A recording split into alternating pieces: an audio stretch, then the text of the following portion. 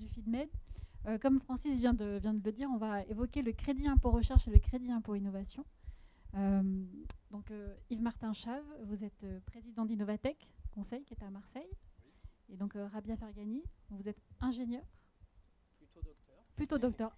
Nul n'est parfait. Ça fera plaisir aux autres. Donc, crédit impôt recherche qu'on connaît bien, qui est euh, l'une des valeurs d'attractivité de la France d'ailleurs, euh, qui, donc, qui, finance, euh, qui finance la recherche, crédit d'impôt innovation, qui est un peu plus récent en, âge, si je puis dire ça comme ça. pourquoi est-ce que ces deux dispositifs sont des sources de financement qu'il ne faut pas ignorer? Tout simplement parce que les entreprises qui sont dans l'innovation engagent des dépenses sur des montants significatifs euh, et euh, le gouvernement propose euh, des systèmes attractifs de crédit d'impôt qui permettent de prendre en charge une partie de ces dépenses, de, bénéficier, ces entreprises peuvent bénéficier d'un crédit d'impôt du résultat net, de la trésorerie nette. Euh, dispositifs euh, fiscaux qui, existent quand même depuis quelques années. Hein. Le crédit d'impôt recherche existe depuis 1983 euh, et le crédit d'impôt innovation existe depuis, sauf erreur de ma part, 2013. Les enveloppes se sont envolées depuis la réforme de 2008. le crédit d'impôt recherche avant 2008, c'était de l'ordre de 1 milliard d'euros pour l'ensemble des entreprises bénéficiaires et pour à peu près 10 000 bénéficiaires. Aujourd'hui, nous sommes à 25 000 bénéficiaires pour un peu plus de, pour 6 milliards et demi. Donc euh, la somme est colossale, euh, ce qui pose des, gros soucis au Trésor public euh, qui n'avait pas totalement budgété ces sommes-là. Et alors que le crédit d'impôt innovation, plus récent, n'a pas eu l'engouement attendu, le nombre de bénéficiaires, si je ne me trompe pas, doit être dans les 4-5 000. Euh, et au niveau des montants, on doit être aux alentours de 200, 250 millions d'euros. Donc, Peut-être rapidement, ce qu'est le crédit impôt innovation par rapport au crédit impôt recherche Rabia. Alors, le crédit impôt recherche euh, est là pour financer l'effort euh, de R&D, en fait. Le fait qu'il y ait de la R&D, ça, ça induit nécessairement qu'on fait de l'innovation, mais l'innovation au sens large n'est pas forcément de la R&D. La RD, la recherche et développement, c'est vraiment pour dissiper une incertitude scientifique. Il y a de vrais verrous à, valider, à faire sauter. Alors que le crédit impôt innovation, il est là pour financer d'autres d'autres activités qui sont euh, la mise en, place, enfin la production de produits qui ne sont pas disponibles sur le marché et qui sont à performance accrue dans divers, euh, divers euh, secteurs.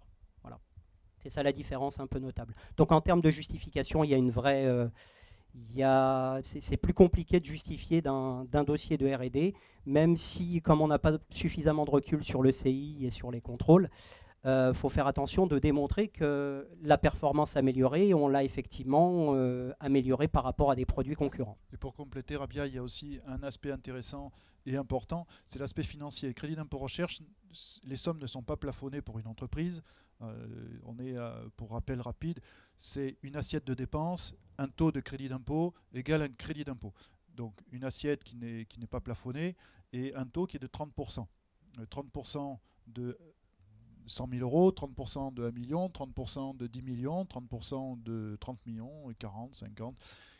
À 100 millions, il y a un écrètement et le taux passe à 5%, mais je pense qu'il n'y a personne dans cette salle qui dépense plus de 100 millions d'euros de dépenses. Euh, on pourrait leur souhaiter, mais, oui, effectivement. Donc le crédit d'impôt recherche, on peut atteindre pour une entreprise 50 euh, 000 euros, 500 000, 5 millions, 10 euh, millions, 15 millions, etc. Le crédit d'impôt innovation, par contre, lui est plafonné à la somme de 80 000 euros par an, sauf dans les dom-tom où il est majoré et il peut atteindre 160 000 euros. Est-ce qu'on peut être un peu plus précis sur ce que ça recouvre en recherche et développement, le CIR en termes de quoi de, ce que c'est la nature des, travaux Exactement. Euh, alors, je vais le dire, moi, je suis, euh, je me suis pas présenté, moi, je suis du métier, euh, je viens de l'expertise comptable. Donc, j'ai exercé 22 ans, commissariat au compte et expertise comptable. Et Rabia, lui, est docteur en physique. Donc je vais vous le présenter euh, de façon euh, débutant euh, néophyte et pas du tout scientifique. Crédit d'impôt recherche, c'est un état de l'art, l'existant théorique pour résoudre un problème. Un verrou technologique qui m'est posé dans l'entreprise, euh, je regarde la théorie, est-ce que la théorie peut me permettre de résoudre mon problème? Oui, c'est pas de l'innovation, c'est même pas de rien. Euh, non, il y a des vraies difficultés à résoudre les verrous technologiques avec l'existant, connus au niveau mondial, publiés. Euh, là, je peux partir dans la R&D. Crédit d'impôt innovation, c'est euh, j'ai un produit, je vends des bouteilles d'eau, je suis spécialisé sur le bouchon on a tout inventé au niveau du plastique, on a tout inventé au niveau des systèmes d'ouverture, mais par contre, euh, il y a euh, de l'innovation possible. Hop, avec un pouce pour les gauchers, je peux arriver à ouvrir sans que ça fuit, etc. Étanchéité. On ne va pas parler de R&D parce qu'il n'y a pas euh, de verrou, mais par contre, les bouteilles d'eau, avant moi, il n'y avait que ce machin qui se dévissait. Donc c'est une innovation au niveau fonctionnalité, ergonomie ou d'éco-conception qui vont me permettre de dire je fais de l'innovation. Donc, sur le crédit d'impôt innovation, c'est plus une étude de marché. Qu'est-ce qu'il existe sur le marché et quelles sont les performances? Et sur euh, le crédit d'impôt recherche, c'est état de l'art. Qu'est-ce qu'il existe au niveau théorique? Comment on résout ce problème au niveau théorique Rabias, Oui, théorique et aussi euh, pratique, dans le sens où en fait, il y a quand même trois strates en termes de R&D. Il y a la strate euh, recherche fondamentale, pour laquelle la plupart des entreprises qu'on peut accompagner ne sont pas dans cette strate-là possiblement pas non plus dans la strate d'après qui est en fait euh, la recherche appliquée. On est dans la majorité des cas et dans la majorité des entreprises qu'on peut accompagner, c'est le développement expérimental. Dans le le développement expérimental, il y a quand même du produit à la clé. Mais toutes les phases amont peuvent très bien être de la R&D parce qu'on peut justifier de verrous euh, technologiques et ou scientifiques. Il y a des aspects un peu plus fondamentaux qui peuvent rentrer dans un produit. Quand on est par exemple sur de l'algorithmie, s'il y a de l'originalité dans mes algorithmes et que j'arrive à le démontrer en termes de publication, c'est-à-dire à faire un état de l'art, ce dont on venait de parler Yves, mais l'état de l'art naïvement, ça ne consiste pas à dire ce qui existe, ça consiste à aller la subtilité, c'est de pointer les limites de l'existant, justement. Et ces limites-là vont révéler les verrous. C'est de cette manière-là qu'on va argumenter, faire de l'analyse biblio. C'est typiquement faire ça. C'est ce, que fait, euh, un docteur ou un universitaire euh, à chaque fois qu'il doit publier un papier et qui fait quelque chose de nouveau. Et eh ben, il s'appuie sur ce qui est fait et il, dit en quoi ce que, lui propose est nouveau. Donc, dans la strate développement expérimental qui intéresse nos entreprises, on a ce même tropisme, mais il y a une vraie difficulté parce que c'est plus difficile d'aller faire des états de l'art dans ce cadre-là. Donc c'est plus difficile d'aller valoriser la R&D quand on fait du développement expérimental. Et c'est aussi pourquoi pas les, dispositifs sont complexes tant, en, tant, que à les financer, donc à justifier le financement, mais ils sont aussi complexes dans la justification de l'argumentaire au niveau des verrous. C'est pour ça que ça vaut vraiment le coup d'être accompagné. Et dans les accompagnements possibles, il faut aussi avoir, euh, il y a un tropisme de l'administration aujourd'hui qui est encore plus exigeante. Elle demande que ce soit des, académiques qui analysent les dossiers, même les dossiers des, entreprises. Donc du coup, il y a euh, le réflexe qui est qu'est-ce que c'est qu'un état de l'art qui est bien fait, comment mes verrous sont argumentés, et elle va aussi chercher à voir si on a des indicateurs de R&D. C'est-à-dire en fait, l'idée c'est quand même que la R&D, c'est là pour mettre en évidence qu'on a de l'acquisition de connaissances nouvelles. Et l'acquisition de connaissances nouvelles, ce qui la matérialise, ce sont les indicateurs. Donc c'est des indicateurs académiques, comme le fait de financer des thèses, d'avoir des collaborations, de publier dans des revues scientifiques et ou techniques, mais en tout cas euh, crédibles. Et puis après, vous avez, euh, de, manière un peu moins formelle, il y a les brevets. Mais toutes les petites entreprises n'ont pas les moyens forcément de défendre leurs brevets derrière. Donc ce qu'on pousse à faire, compte tenu de ce que sont les exigences aujourd'hui, c'est de favoriser les partenariats entre l'entreprise et, euh, l'université. Parce que c'est comme ça qu'elles peuvent acquérir des indicateurs de RD qui rendront béton leur démonstration après, euh, si je peux m'exprimer ainsi, euh, sur la justification de leur verrou. vous avez donné des chiffres impressionnants tout à l'heure en disant qu'il y avait une vraie manne financière. Les entreprises vont très facilement vers le CIR on va dire que toutes les entreprises qui sont accompagnées, qui sont dans un proche du monde de l'innovation, incubateur, accélérateur, pépinière, euh, et qui savent qu'elles font, de, font l'innovation, connaissent depuis euh, toutes ces années euh, ces dispositifs, crédit d'impôt recherche, crédit d'impôt innovation. Il y a de, très nombreux consultants qui disent pour aider, accompagner ces entreprises sur ces dispositifs. donc ces entreprises connaissent ce dispositif. Certaines, et c'est là où nous nous attirons l'attention, c'est que, comme nous le disions tout à l'heure, le gâteau du crédit d'impôt recherche a gonflé de manière phénoménale et le, Trésor public n'a qu'un seul objectif, c'est d'une main, il a promis, et de l'autre, administration fiscale ou ministère, il essaye de récupérer, euh, d'annuler ce qu'ils ont promis. Ça, c'est euh, dire, tous les professionnels, experts comptables, commissaires aux comptes, euh, avocats, fiscalistes, directeurs financiers, le savent aujourd'hui. il y a une recrudescence une agressivité de plus en plus flagrante de la part de l'administration fiscale pour récupérer l'argent qu'elle a promis.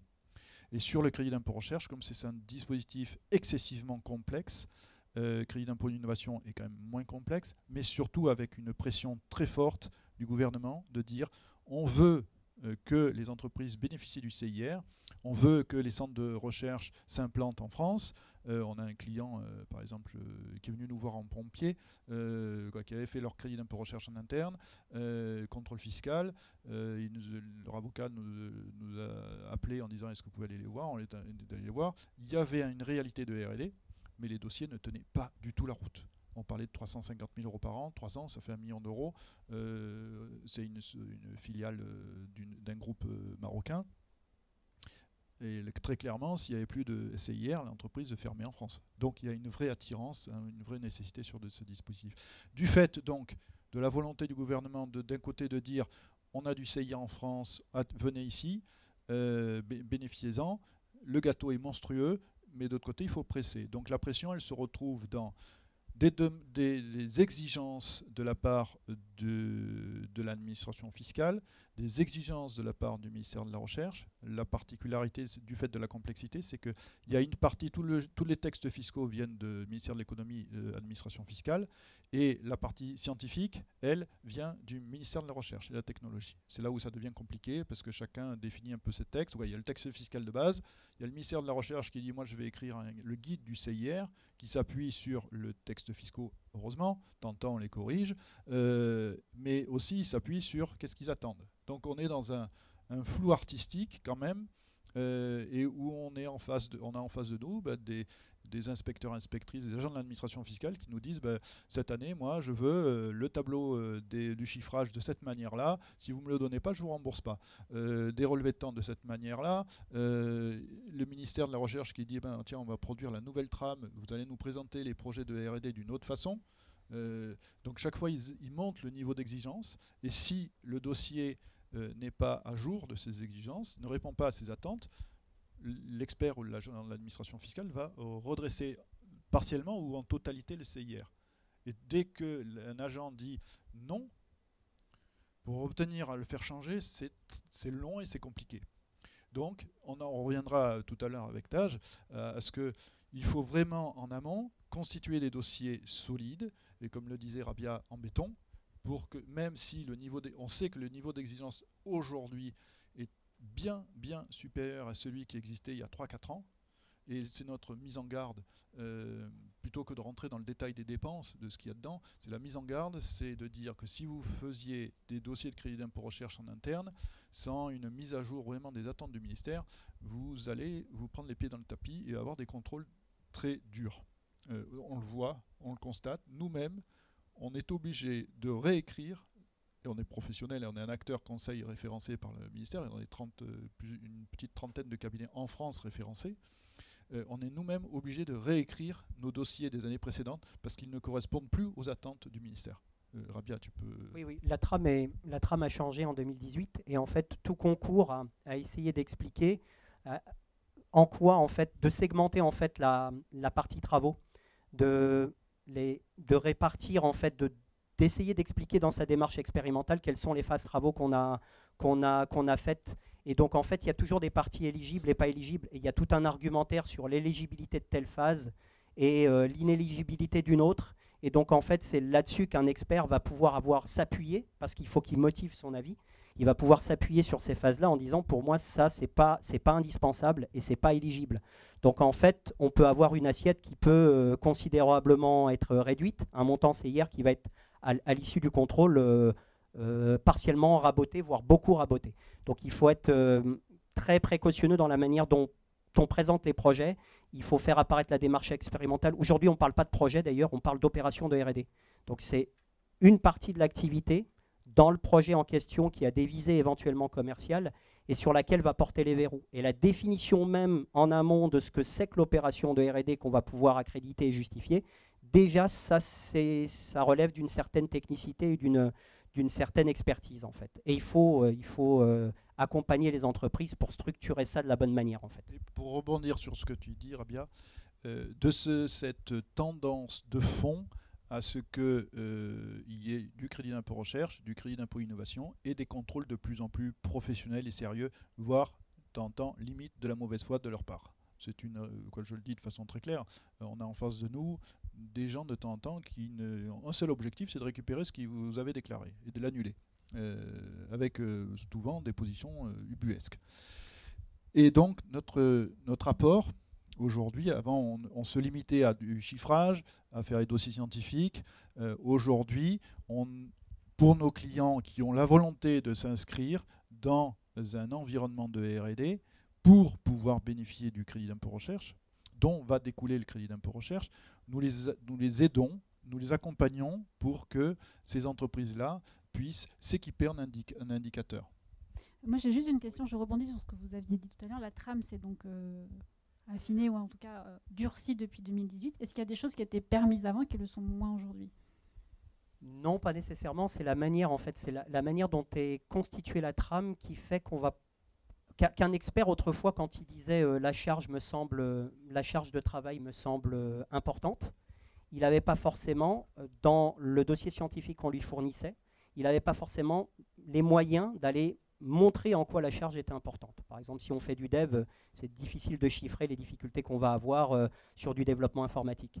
Donc là, le fait de, structurer, de découper en phase, ça va permettre en fait d'argumenter euh, le rapport d'expert et d'aller dire de manière un peu plus claire pourquoi il lui semble que la charge est importante et pourquoi il lui semble que tel, en tout cas, euh, il va formuler un avis là-dessus, pourquoi il, peut dire que telle, que telle phase travaux n'est pas indispensable et que donc du coup elle ne devrait pas être comptée et elle ne devrait pas être éligible. Donc en fait tout le formalisme concourt à bien segmenter et à donner un, en fait un support pour étayer davantage euh, l'argumentaire d'un expert parce que le enfin, les, gens, les contribuables qui étaient soumis à l'expertise pouvaient toujours arguer du fait, parce que ça c'est les textes fiscaux aussi qui le disent, euh, que telle tâche est indispensable à la levée de verrou, même si ce n'est pas euh, éligible en soi, le fait que ça soit indispensable, normalement, ça doit être compté. Aujourd'hui, eh ben, on a des arguments, on peut avoir des arguments pour montrer que ce n'est pas si indispensable que ça. En fait, il faut être, rentrer plus dans les détails. Exactement, c'est ça.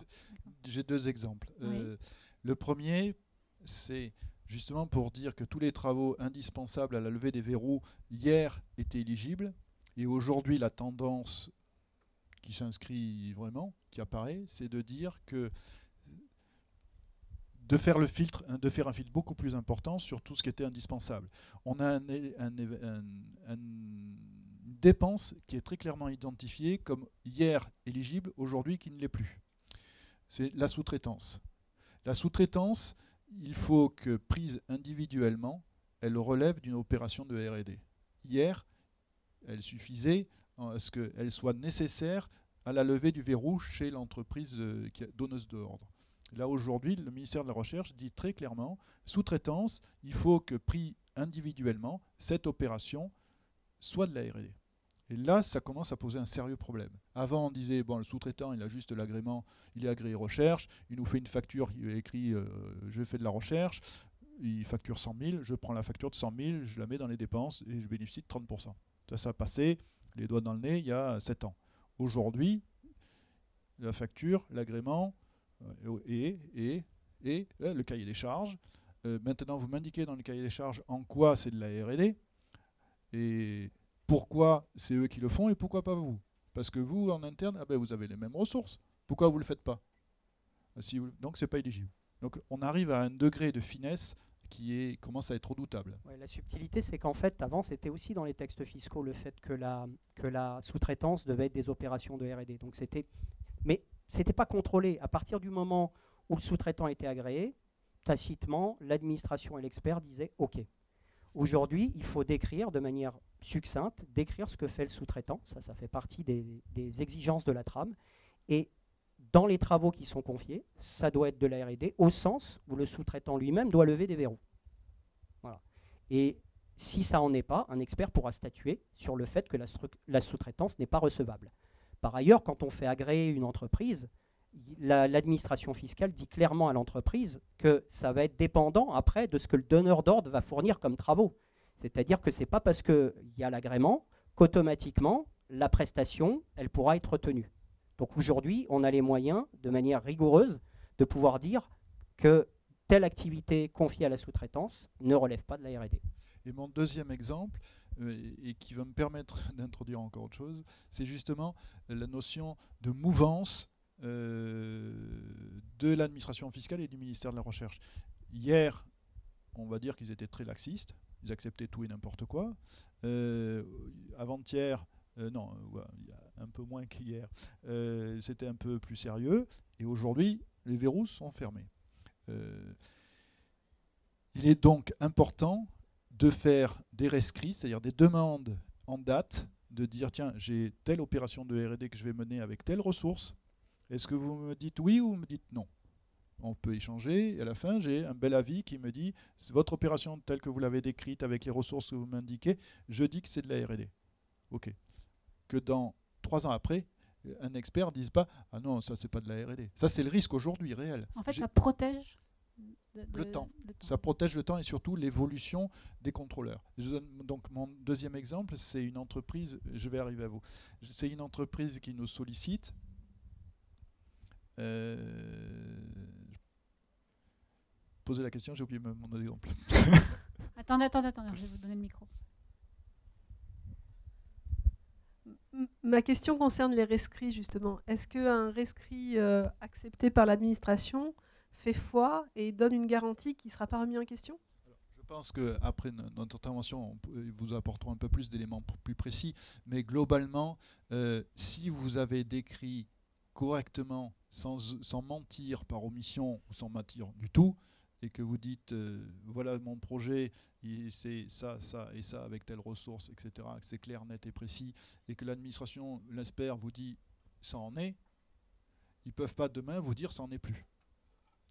Par contre, si vous dites oui, mais en fait, euh, ça, ça se fait avec ça, ça c'était déjà connu parce qu'on l'utilise là-dedans, vous en oubliez des morceaux, euh, le contrôleur demain, il vous dire oh, attendez, vous m'avez pas dit que ça, il y avait ça, qu'il y avait déjà de la techno qui était incluse, que vous aviez déjà, qui était déjà identifié. Voilà, faut pas mentir.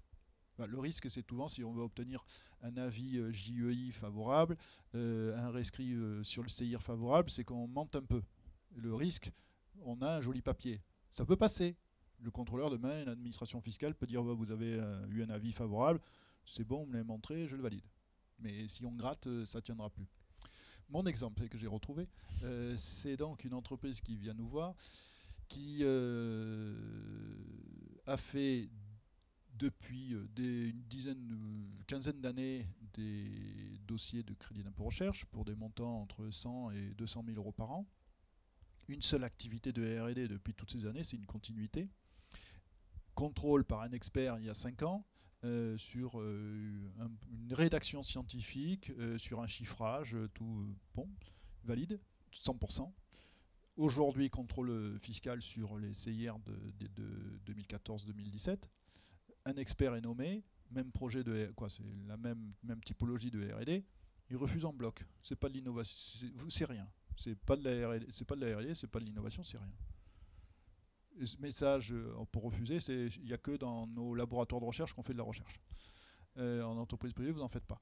Euh, et donc là, on met, mais c'est vraiment l'activité n'a pas changé. On fait vraiment la même R&D depuis des années, avec des évolutions, mais c'est vraiment le même, même domaine. Là, c'est mise en évidence, c'est que là, l'expert, le dossier était mal rédigé parce qu'il avait fait en interne, il n'avait pas suivi. Il dit ah non, ça c'est pas de la R&D. Hier, c'était de la R&D. Là, on est vraiment sur un cas et on est pas sorti de l'auberge, hein, parce que ça ne veut pas être évident. On a demandé une, contre-expertise qu'on a obtenue, mais qu'est-ce que ça va donner? J'en sais rien. Bon, on argumente la volonté d'avoir une contre-expertise. Après, il y, a des choses qui sont, sans, rentrer dans le secret des dieux, il y a des choses qui sont mises dans le rapport où il dit c'est du développement. Sauf que la strate développement expérimental, c'est ce que je vous expliquais tout à l'heure, c'est considéré comme de la R&D possible. Donc on est dans le monde de l'entreprise. Eh ben oui, on est dans le monde de l'entreprise. Euh, la majorité euh, de la R&D qui est valorisée, c'est euh, du développement expérimental. C'est pas de la recherche appliquée, à part peut-être dans la biotech ou de la recherche fondamentale. C'est rarement ça. Donc c'est pas, il donne le bâton pour se faire battre en disant que c'est du développement. Bah, le développement, c'est une strate de R&D. Donc voilà. Donc c'est tout à fait recevable. Est-ce qu'il y a d'autres questions avant Oui.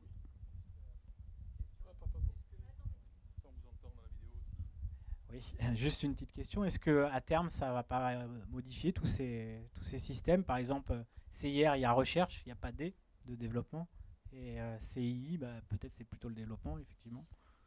Bah, si on s'arrête au titre, effectivement, crédit d'impôt recherche, crédit d'impôt innovation, le crédit d'impôt innovation, l'innovation est beaucoup plus large au sens recherche.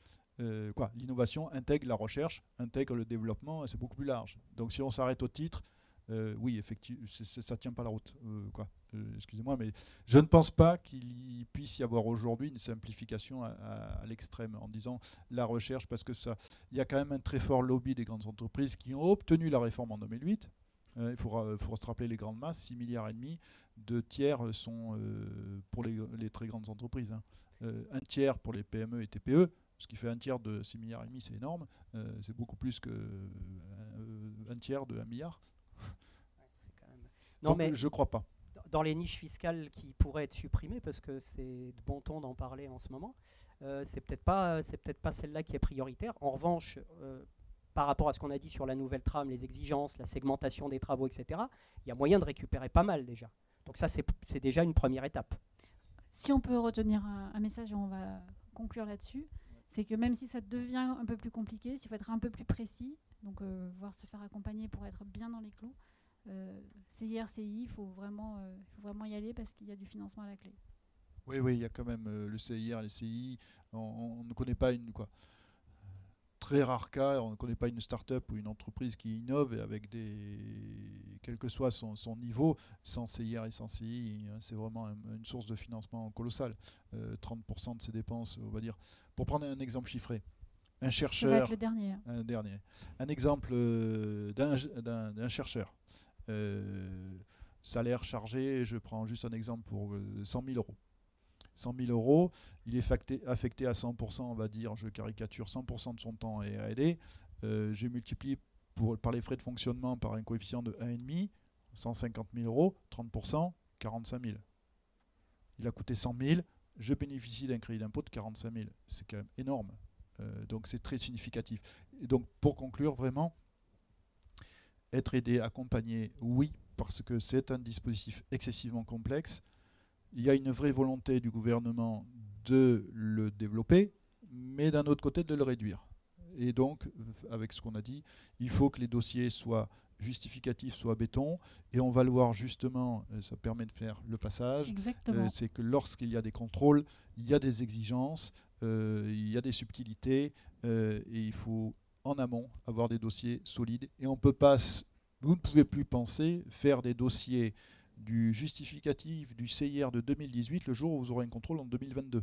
C'est totalement irréaliste parce que le personnel sera parti, les, vous n'aurez pas les CV, les diplômes, euh, le projet de RD aura été mal écrit. C'est totalement impensable de se dire on va l'écrire dans trois ans.